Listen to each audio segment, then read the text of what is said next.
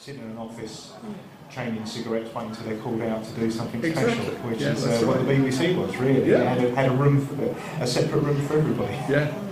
Well, uh, this, this current government appears to be intent on private, A, privatising Channel 4 and B, making the BBC not um, public funded, Yeah. not funded by uh, licence anymore, which I think is very sad. Yeah, it is. It's um, and it, the, the irony is really it's sort of like that Channel Four was born of a sort of a, a, a Margaret Thatcher thing. Really, Yeah. it's a sort of a That's, soft, that's the real irony of it, yeah. um, public, pu- it made a soft public um, Yeah, public enterprise.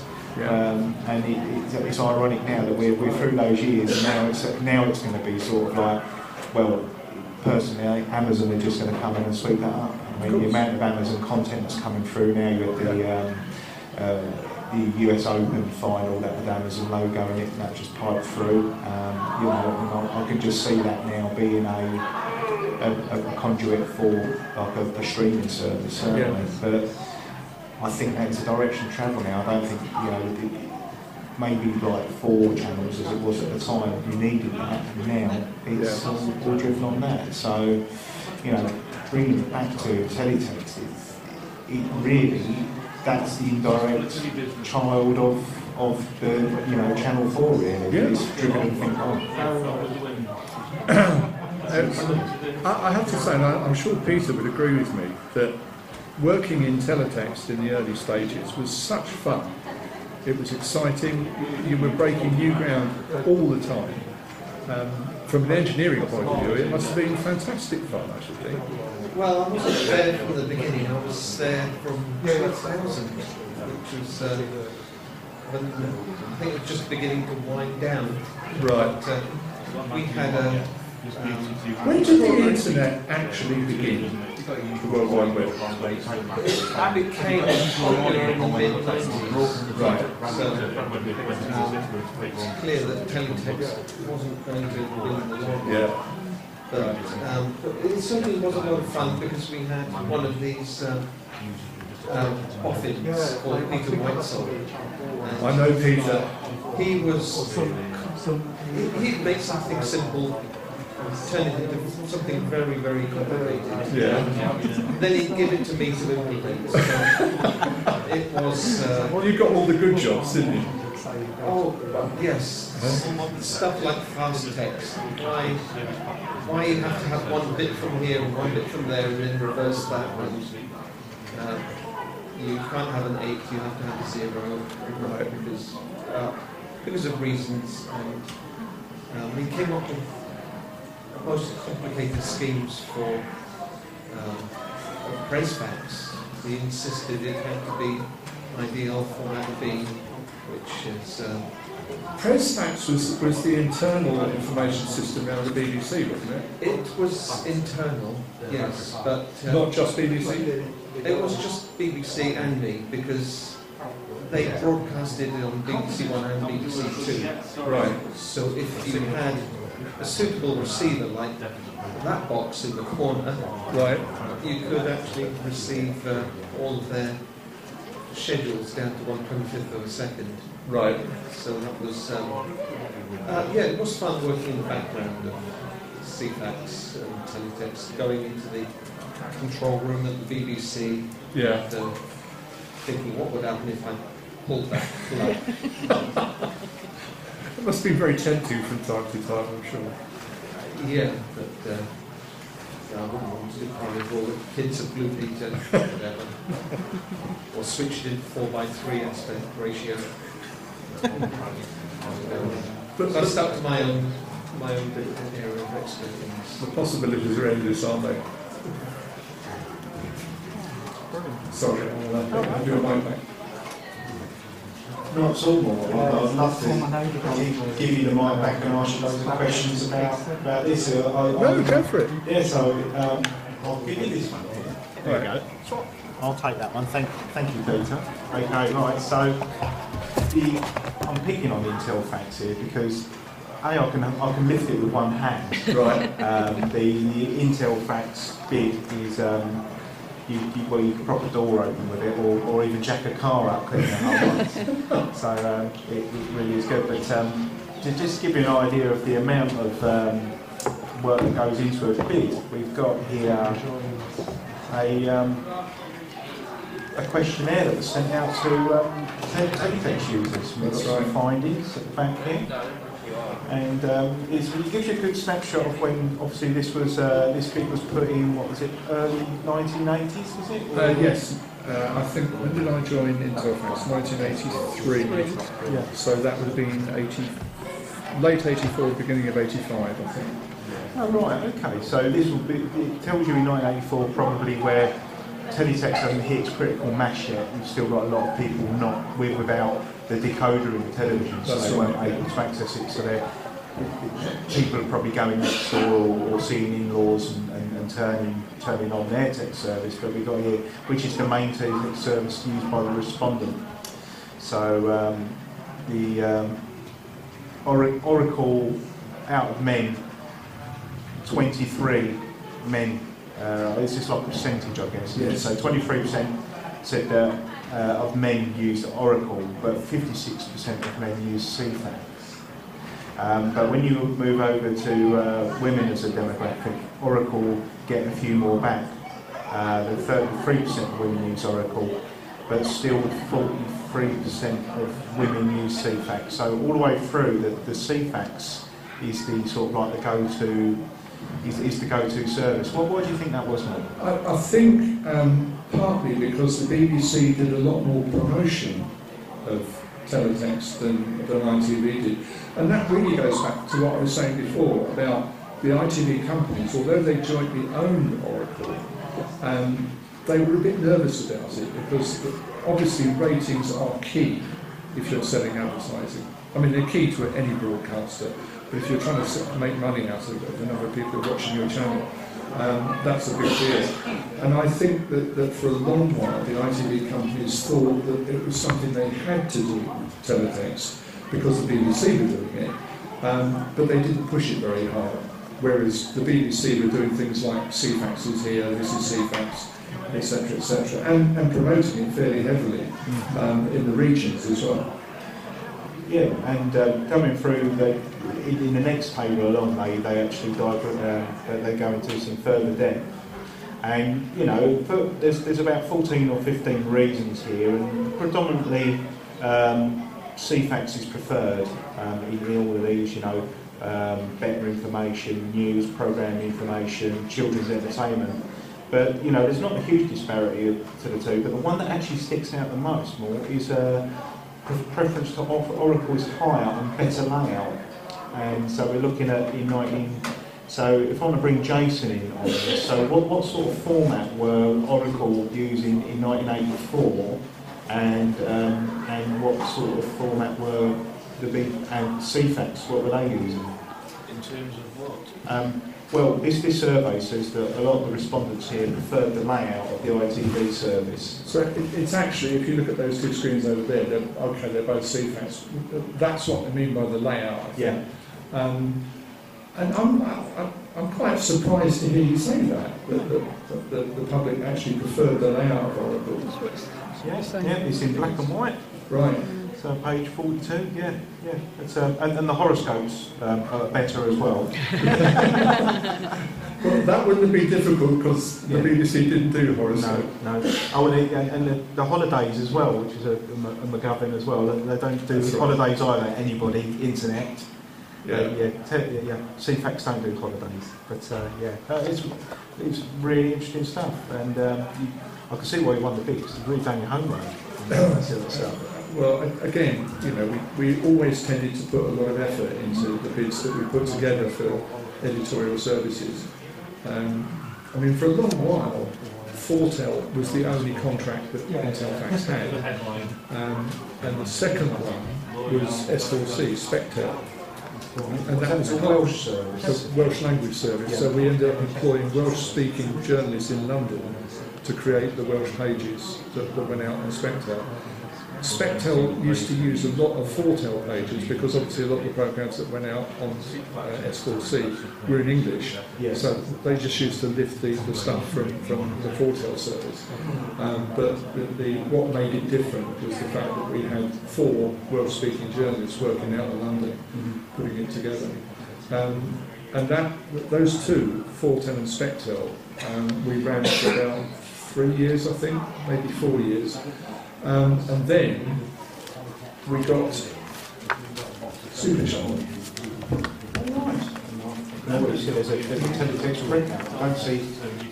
on, not thermal paper, I hope.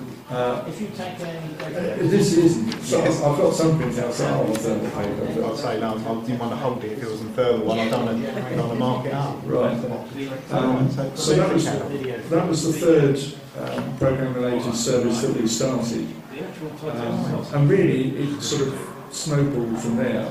Um, as more and more satellite and cable broadcasters came online, Yes, we were jumping in with both feet. Yeah. Almost immediately they came on air saying, "Would you like a teletext service?" you would, you would go to teletext set-up service, you, you could just parachute in and set up.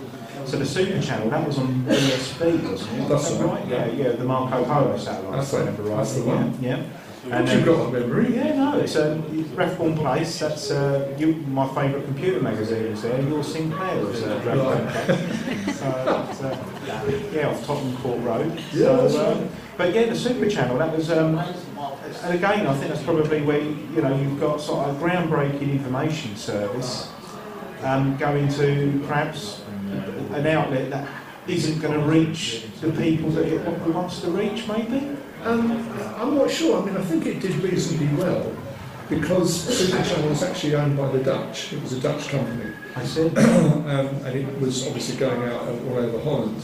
Um, and, Hol- and the NOS were, were big in teletext. They, they spent a lot of money, put a lot of effort into teletext. So I think they had a ready-made market in Holland. Yes. Um, and when we came along, as it turned out, probably just before NOS did, Yes. said, "Would you like a service?" They said yes. So did NOS at any point say, uh, you know, say, or would you like to um, put, put any of your sort of like marks on, on anything for their terrestrial services at all? No. Because um, um, NOS, I, I do remember like living in the east, whenever the sun came out, I would uh, start getting NOS one come over on, on TVDX. Really? Yeah, yeah. You wouldn't get the sound carrier because that came through differently, but you, they'd, they'd be showing neighbours or something like that. You know, so whenever your whenever your high pressure came in, the, the, the TV would distort.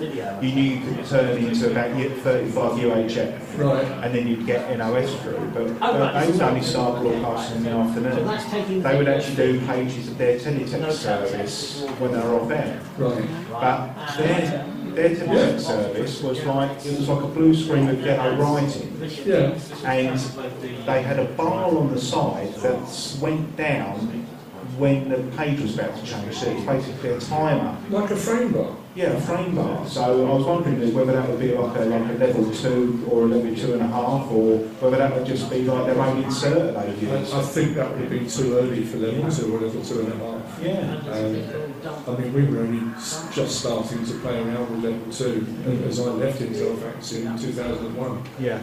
Um, so I think that would have been way, way Yeah. before that, uh, that happened. But a- after Super Channel, we, we started doing things for UK Gold, UK Living. Well, this is uh, capturing I can't remember half of them. And it's- You used to do the program listings for this is Yeah, I what know, This is 30 years ago. Discovery Channel. Yeah. Discovery Discovery, Channel. yeah. Um, Look where that is now. It's part of the Disney Yeah. Empire. That's right, yeah. Yes, please. Would you want water? Yeah, lovely. Thank you you. Thank you very much. There's one coming over. Lovely, thank Lovely. Thank you. Sorry. Yeah. G-Ray. Oh yeah. Yeah. No worries. And uh, so the oh, I like the bag. Full sports fans. Yes. There's a there's a blue. This was a bit of in merchandising that they did for, That's for um, absolutely incredible. yeah. and they sponsored a little a, a school football team for a little while. Um, Intelfax sponsored um, a school football team for a little while, and they all had these bags, and they had the name on the, on the shirts. Yeah.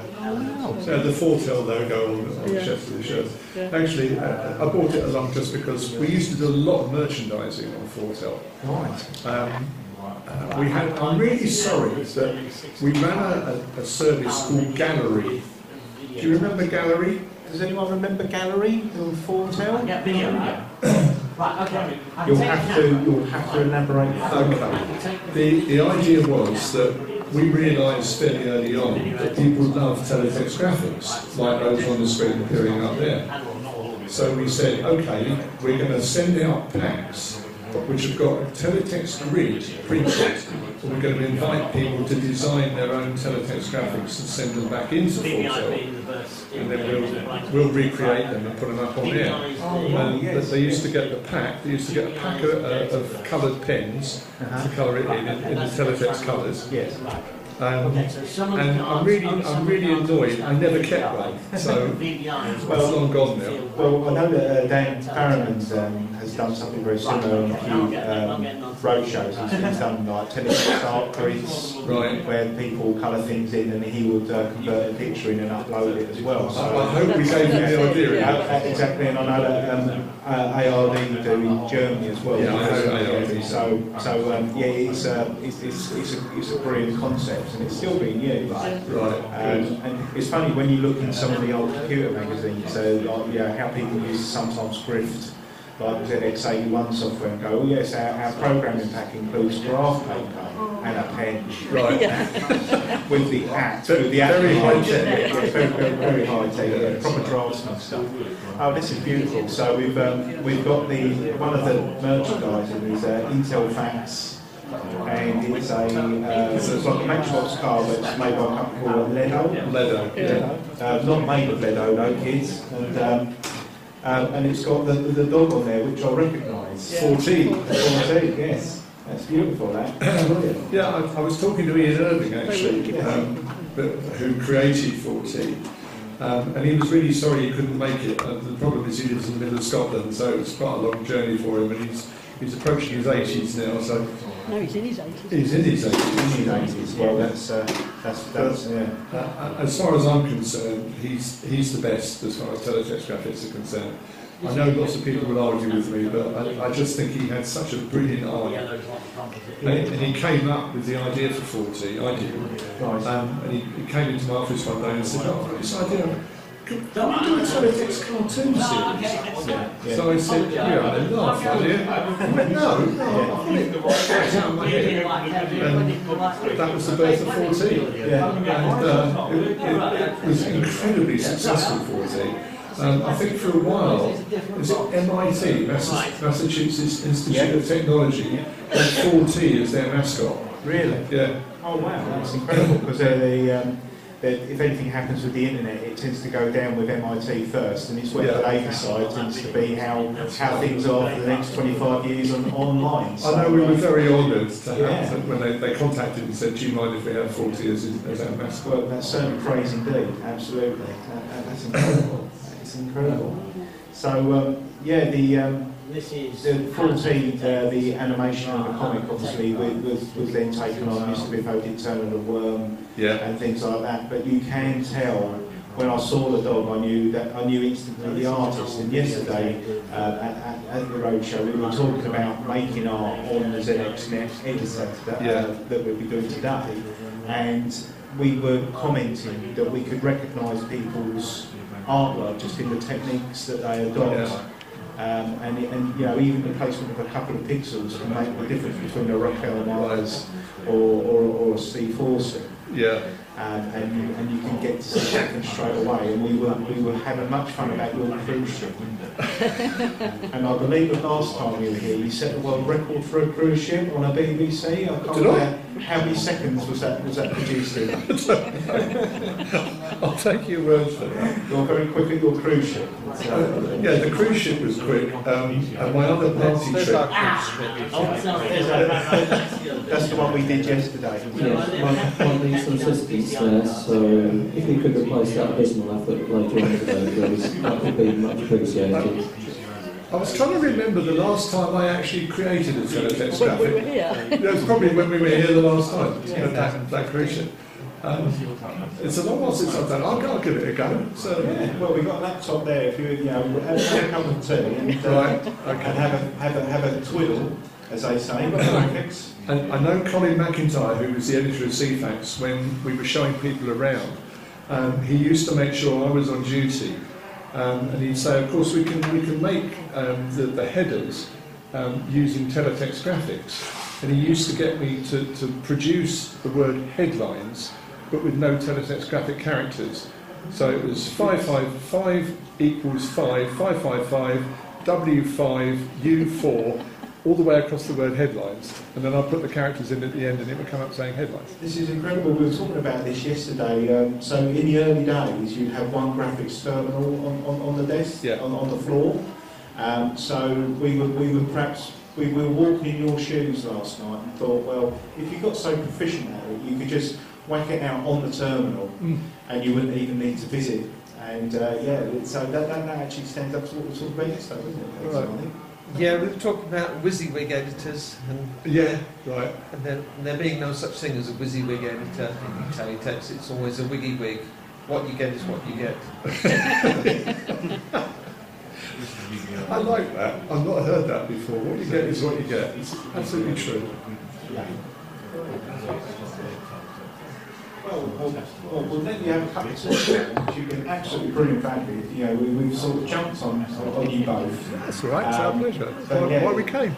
No, it's brilliant. Uh, no, so thank you very much. Have a cup of tea, and then when you're ready, um, we want you to show us how it's done on, on, on the, on the editor. No pressure here at all then. No, no pressure, but you will get a round of applause. So, thank you very much. Cheers. You're welcome. Cheers.